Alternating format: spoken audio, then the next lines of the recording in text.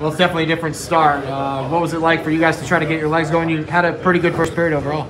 Yeah, you know, we came out strong. Um, I think the the fellas' mentality in the room was just to get the first five minutes out of the way, get our legs under it. Um, you know, it's a different circumstance with the 10 a.m. game today, but uh, we worked hard and you know it, it, paid off for us. I think there's some things we can fine tune for tomorrow, but you know we uh, we'll get together as a team and we'll, we'll reestablish our game and be ready to go tomorrow. What was it like for Philly to score? Obviously, he scored before, but you know, first one of the year probably helps a little bit get, get guys going. Yeah, for sure. I think for him especially, you know, he's he's had confidence all year with this game. He's played some really good hockey this year.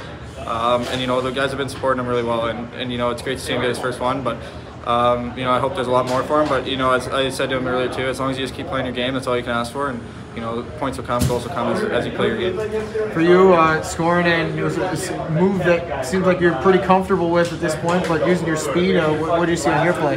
Um, I don't know. It's kind of a weird play. Um, you know we puck kind of bob bounced over uh, Wooley stick in there. You know, it kind of scramble play, but then uh, he made a great pass up to me. And, um, I think lately my mentality has been getting back to just driving to the net and five nothing. At least I can go around the net or you know create some space for myself and my line mates. And uh, I was just trying to do that, but I was fortunate enough to get in on that and you know just try to make the goalie open up and slide five hole. But um, you know it was a great play by Woolley and our, our whole line individual. I thought we had a really good game as a line, and you know we are taking care of our end. So uh, I think we earned that goal. You mentioned taking care of your end. Uh, you guys have scored a lot of goals, but you've been working on the defensive side of the puck. Only one allowed. Uh, how do you feel you guys played defensively? You know, in a game there always is ups and downs, and, and we know that as a team, and we're learning that. Um, I think for, for our team, we need to get more comfortable in the in the tight game situations because that's when we make playoffs. That's what a lot of it's going to be. And you know, you see that the games that we play Stockton, they're not always shootouts, and um, you know, we're getting comfortable with it. We're, we're growing as a team and as individuals, and you know, we, we've been working on it. So, um, you know, it was good to see us uh, manage the game at the end there. You know, put some pucks in, get it out of our zone, and you know, tighten it up, and, and we were we were good. But we're, we're definitely learning, and we're, and we're getting better at it every game.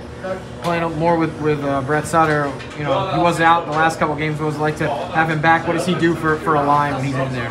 You know, I've, I've known Brett for a little while now. I skate with him in the summers and whatnot. So obviously he's our captain. He's, he's the heartbeat of our team. He's, he's a very, very important piece of our team. But, you know, saying that, everybody that's been in our lineup this year has been an important piece. And, you know, Johnny played really well with uh, with me, and Sods played really well. And you saw that last game, we, we got a goal. You know, I thought we were doing really well. And, you know, it's great to have Suds back. And, you know, I love playing with dudes too. I think for our line, our, our goal is to forecheck and, you know, generate some energy and work the cycle and play, play that fast and heavy game. And I thought we did that well tonight.